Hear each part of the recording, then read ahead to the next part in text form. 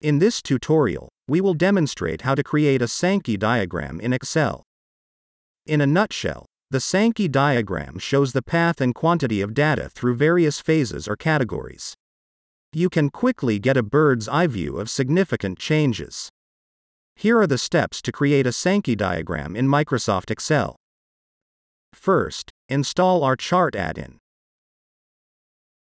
The dataset should contain at least two non-numerical categories and the last column should contain numbers. Choose the range. Then click the chart icon. A new dialog box will appear. Pick your preferred color style, or define custom colors.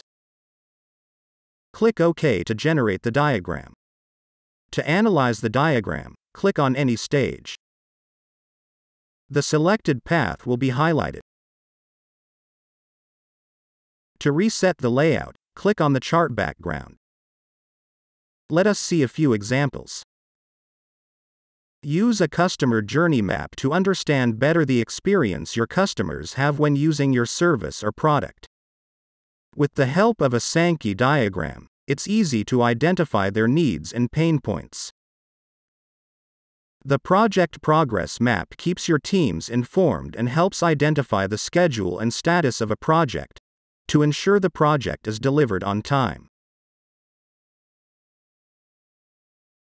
If you want to take a closer look at your website traffic, use a Sankey diagram to compare traffic sources easily. Thanks for being with us today. Stay tuned.